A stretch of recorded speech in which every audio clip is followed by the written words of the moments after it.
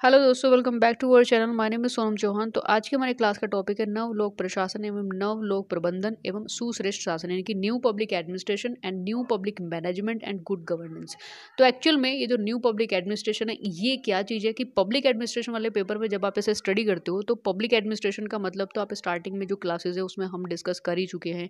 ठीक है, जनता से जुड़ा हुआ जो प्रशासन होता है बेसिकली एग्जीक्यूटिव फॉर्म को पूरा हम डिस्कस करते हैं। लेकिन ये जो न्यू पब्लिक एडमिनिस्ट्रेशन वो क्या चीज़ है? ये कैसा कॉन्सेप्ट है, साथ में जो न्यू पब्लिक मैनेजमेंट है, ये क्या है गुड गवर्नेंस क्या चीज़ होती है? तो इस बारे में आज इस क्लास में हम डिस्कस करेंगे। ज़्यादा लेंथी ये लेक्चर्स नहीं है, बहुत ही छोटा सा लेक्चर्स है। सो थोड़ा सा कॉन्सेप्ट है क्लियर आउट करना है। बाकी की वीडियोस अब तक के अगर आपने अटेंड नहीं किए ना तो जाकर के लेक्चर भाई अटेंड कर लो। अब तक के नौ लेक्चर हम ऑलरेडी ले चुके हैं पब्लिक एडमिनिस्ट्रेशन का। और अगर आपका दूसरा पेपर तैयार नहीं है फ़र्स्ट पेपर जो कंपेरेटिव गवर्नमेंट एंड पॉलिटिक्स वाला है, वो भी पूरा कंप्लीट हम करा चुके हैं। उसकी वन शॉट वीडियो उसके एम बेस्ड क्वेश्चन और उसकी थ्योरी वाले सारे लेक्चर्स अवेलेबल हैं। पूरी प्लेलिस्ट वाले जब आप उसमें प्लेलिस्ट वाले सेक्शन में आते हो तो बहुत सारी प्लेलिस्ट बनी हुई होती है। तो semester wise B A fifth semester की अलग अलग पेपर्स की जो प्लेलिस्ट है वो हमने क्रिएट की हुई जाकर के चेकआउट कर सकते हो। ठीक है? बाकी सोशल मीडिया हैंडल से अगर आपको इसकी नोट्स में, अगर आपको जो पी डी एफ़ है वो नोट्स में चाहिए नोट्स में मतलब मटेरियल चाहिए तो आप हमारे टेलीग्राम चैनल को ज्वाइन कर सकते हैं। डिस्क्रिप्शन में नीचे लिंक मिल जाएगा। सोनम चौहान पॉलिटिक के नाम से भी टेलीग्राम पर सर्च करेंगे तो हमारा चैनल आपको शो होगा जा करके ज्वाइन कर लेना। अब तक की सारी क्लासेस की सबकी नोट्स वहाँ पर हम शेयर करते रहते हैं। और इंस्टाग्राम चैनल है Chauhan Sonu ninety nine official के नाम से ज़रूर फॉलो कर लेना बिकॉज़ ऑफ़ वहाँ भी स्टोरी रील्स या बहुत सारी ऐसी अपडेट जो हम वहाँ पर अप टू डेट डालते रहते हैं। तो चलिए अब लेक्चर को स्टार्ट करते हैं। बाकी आगे बढ़ने से पहले वीडियो को लाइक कर देना शेयर कर देना और अभी तक सब्सक्राइब नहीं किया तो सब्सक्राइब कर लेना बेल आइकन को प्रेस कर लेना ताकि हर एक वीडियो का नोटिफिकेशन आप तक पहुँचता रहे। अब बात करते हैं कि जो नव लोक प्रशासन का उदय है वो कैसे हुआ, यानी कि emergence of new public administration तो सन 1960 से 1970 के जो दशक हम इसको बोलते हैं कि 1960 से 1970 की जो सेंचुरीज होते हैं, उनमें होने वाले जितनी भी चेंजेस हैं, वो सब लोग यानी कि न्यू पब्लिक रिप्रेजेंटेटिव से ही रिलेट करते हैं, जिसको नव लोक प्रतिनिधित्व करता है। ठीक है? यानी कि जो पब्लिक एडमिनिस्ट्रेशन में कुछ भी, कुछ नया चेंज हुआ है, कुछ अमेंडमेंट हुए हैं कुछ संशोधन हुए हैं तो उसमें जो चेंज आया है, उसको नव लोक प्रशासन बोलते हैं। तो ये 1960 से हम इसको मान सकते हैं। अब यहाँ पे लैंडमार्क की अगर हम बात करें कि landmarks of the new public administration की नवीन लोक प्रशासन के सीमा चिन्ह क्या है?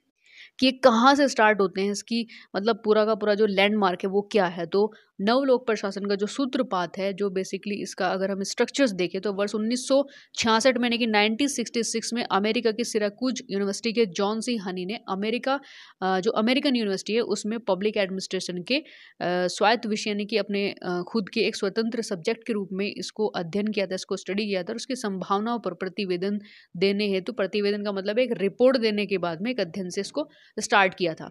है ना? मतलब इसको पढ़ा, फिर इसमें कुछ ऐसी चीज़ें देखी कि इसमें चेंज होना चाहिए, कुछ ऐसा मतलब परिवर्तन होना चाहिए तो उन्होंने एक रिपोर्ट पेश की तो प्रॉपर रूप से एक इंडिपेंडेंट होकर के उन्होंने स्टडी को कंप्लीट किया। न्यू पब्लिक एडमिनिस्ट्रेशन जो होती है, उसका क्या टारगेट है, वो उसको अमेंडमेंट करने के बाद में उसको इतनी इंपॉर्टेंस दी क्यों जा रही है, इसके बारे में भी हम आगे बात करेंगे।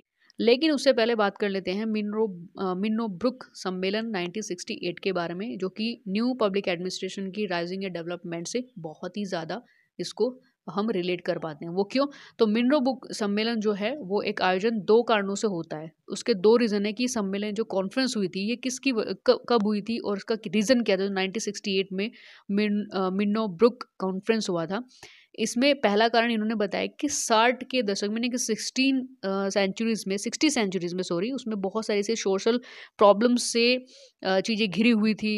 एक ऐसा इन्वायरमेंट था जो जहाँ पर सामाजिक समस्याओं से घिरा संक्रमण का वहाँ पर काल था, जिससे ड्वाइट वोल्डो ने अपने 1968 के एक लेख में जो लेख उनका जो टाइटल था वो क्रांतियों के काल में लोक प्रशासन की public administration in the time of turbulence जो पब्लिक एडमिनिस्ट्रेशन रिव्यू में प्रकाशित हुआ था। एक तरीके से पूरा एक लेख था, एक स्टेटमेंट था जो इन्होंने यहाँ पे लिखा था, जो कहाँ पर पब्लिश हुआ था? पब्लिक एडमिनिस्ट्रेशन रिव्यू में पब्लिश हुआ था, उसको उजागर किया।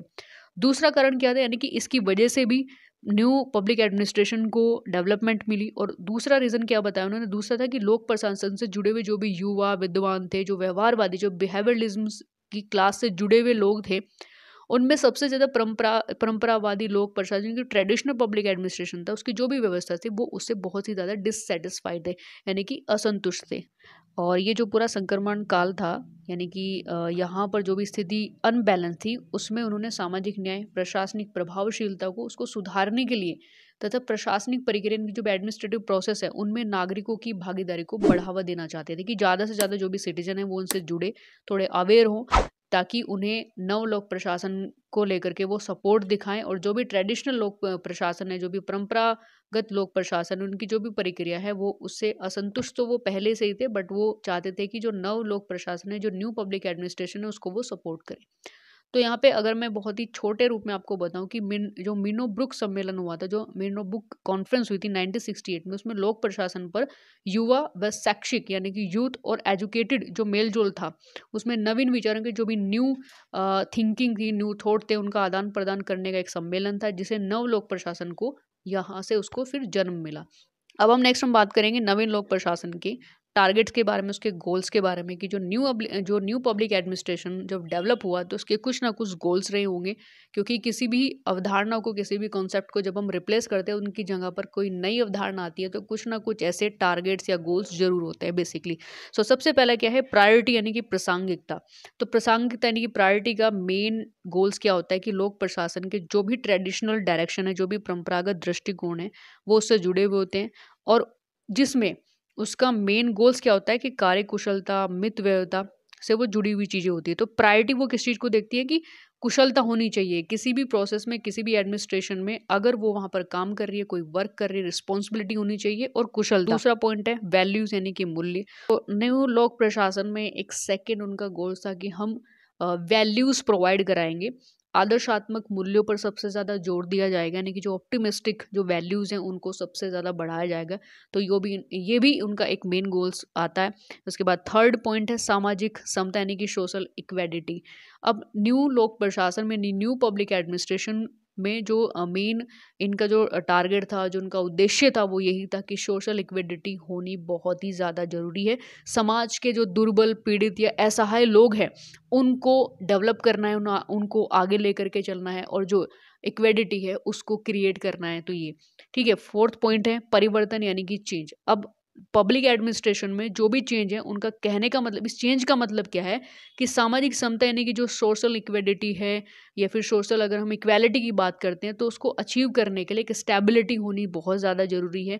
तो लोक प्रशासन में वो स्टेबिलिटी बहुत कम देखी गई थी बट जो न्यू पब्लिक एडमिनिस्ट्रेशन है उसमें स्टेबिलिटी देखी जाती है। तो ये सारी चीज़ें हमने डिस्कस की न्यू पब्लिक एडमिनिस्ट्रेशन के टारगेट को लेकर के उनके गोल्स को लेकर के कि कोई भी कॉन्सेप्ट अगर क्रिएट होता है तो उसमें कुछ ना कुछ उनके गोल्स ज़रूर होते हैं। अब बात कर लेते हैं यहाँ पे लोक प्रशासन के आधुनिक स्वरूप और नवीन लोक प्रबंधन क्या चीज़ है कि modern idea of public administration new public management तो 1980 से 1990 के जो सेंचुरीज रही, उनमें लोक प्रशासन के क्षेत्र में एक नई कॉन्सेप्ट को डेवलप किया गया, एक नई अवधारणा को डेवलप किया गया है, जिसे नवीन लोक प्रबंध यानी कि न्यू पब्लिक मैनेजमेंट कहा गया।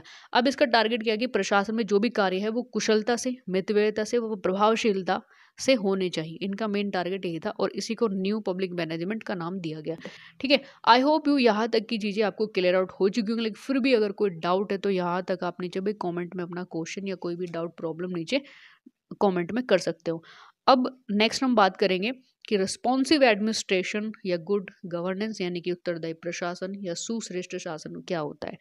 तो इसकी अगर हम डेफिनेशन की बात करते हैं तो अलग अलग थिंकर्स ने तो अपने अपने पॉइंट ऑफ़ व्यू से अलग अलग तरीके से इसको डिफाइन किया है कि भाई एक सुश्रेष्ठ शासन कैसा होता है। जैसे आ, हम अगर हम अरिस्टोटल के अकॉर्डिंग देखें तो उन्होंने तो प्रॉपर रूप से एक मुनारकी सिस्टम को बहुत अच्छा गवर्नेंस उन्होंने बताया कि जो प्रजातंत्र, जो राजतंत्र होता है, वो बहुत अच्छा गवर्नेंस होता है, बहुत अच्छा शासन होता है बट बहुत सारे ऐसे थिंकर्स हैं जिन्होंने डेमोक्रेसी को अच्छा बताया है, कुछ ने अरिस्टोक्रेसी को अच्छा बताया है तो गुड गवर्नेंस की परिभाषा क्या होती है कि इसमें बहुत सारे क्वेश्चन कि भाई शासन क्या है, शासन किसके लिए हो रहा है, या शासन का जो आदर्श रूप है, जो उसका ऑप्टिमिस्टिक जो स्ट्रक्चर्स है, वो क्या है, या जो शासन है, जो सिस्टम है ठीक है, जो गवर्नेंस है, उसका लास्ट टारगेट क्या है, वो क्यों बनाया गया, उसका गोल्स क्या है, एक आदर्श शासन का मापदंड क्या होना चाहिए, है ना? उसका पैरामीटर कैसा होना चाहिए कि भाई ये एक गुड गवर्नेंस है तो इसमें ये पैरामीटर उसके फुलफिल होने ज़रूरी होते हैं। या शासन का अर्थ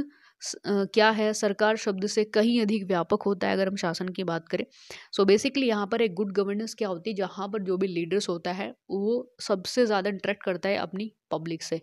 तो पब्लिक का मतलब क्या होता है कि उसको पता होना चाहिए कि भाई पब्लिक में कितनी ज़्यादा प्रॉब्लम्स हैं, वहाँ पर क्या सामाजिक प्रॉब्लम्स है, क्या आर्थिक प्रॉब्लम है, क्या राजनीतिक प्रॉब्लम है, न्यायिक समस्याएँ कितनी है, उसको वो सारी चीज़ें पता होनी चाहिए और समय समय पर उनका जो सॉल्यूशन है वो उन्हें प्रोवाइड करा देना होता है। तो गुड गवर्नेंस में तो इतनी सारी चीज़ें होनी चाहिए और बेसिकली वन लाइन में किसको समझ तो गुड गवर्नेंस का मतलब होता है कि वेलफेयर स्टेट को क्रिएट करना। वेलफेयर स्टेट का मतलब होता है कि जहाँ पर लोक कल्याण से जुड़ी हुई चीज़ें की जा रही हैं, यानी कि वहाँ पर जनता से ही सब चीज़ें जोड़ करके रखी जाती है। भाई एजुकेशन में अगर डेवलप करना है एजुकेशन को अच्छा बनाना है तो वहाँ पर टारगेट रखा जाएगा। उद्देश्य उनके होंगे कि ज़्यादा से ज़्यादा लोगों को एजुकेट किया जाए, ज़्यादा से ज़्यादा लोगों को पॉलिटिकल अवेयरनेस उनके अंदर डाली जाए। गुड गवर्नेंस भी हम इसको बोल सकते हैं आई होप यहाँ तक की चीज़ें आपको क्लियर आउट हो चुकी होंगी, लेकिन फिर भी अगर कोई, हम हर वीडियोज़ में आपसे बता दें, कोई भी कोई भी ऐसा टॉपिक है, कोई भी ऐसा प्रॉब्लम है, कोई क्वेश्चन है जो कॉमेंट में आप डाल सकते हैं कमेंट में आप पूछ सकते हैं, ठीक है? या फिर आप हमें इंस्टाग्राम पर भी डीएम कर सकते हैं, नीचे डिस्क्रिप्शन में लिंक मिल जाएगा। फॉलो कर लेना और डीएम ज़रूर करना। मतलब कोई भी अगर कोई प्रॉब्लम है, कोई ऐसी समस्याएँ हैं स्टडी से जुड़ी हुई, ठीक है? तो हम कोशिश करते हैं कि वहाँ से हम वो मैसेज कलेक्ट करें और उस पर अगर वीडियोज़ बना सकते हैं तो वीडियोज़ भी प्रोवाइड कराते हैं बट वहीं पर वही अगर हमें इंस्टेंटली वहीं पर आंसर देना होता है तो वो भी हम क्विकली वहाँ पर उसको शॉर्ट आउट कर देते हैं। सो so, वीडियो पसंद आते वीडियो को लाइक कर देना शेयर कर देना और अभी तक सब्सक्राइब नहीं किया तो please do subscribe bell icon को प्रेस करना ताकि हर एक वीडियो का नोटिफिकेशन आप तक पहुँचता रहे। सो so, मिलते हैं नेक्स्ट इन्फॉर्मेशन के साथ में नेक्स्ट लेक्चर में तब तक के लिए जय हिंद जय भारत।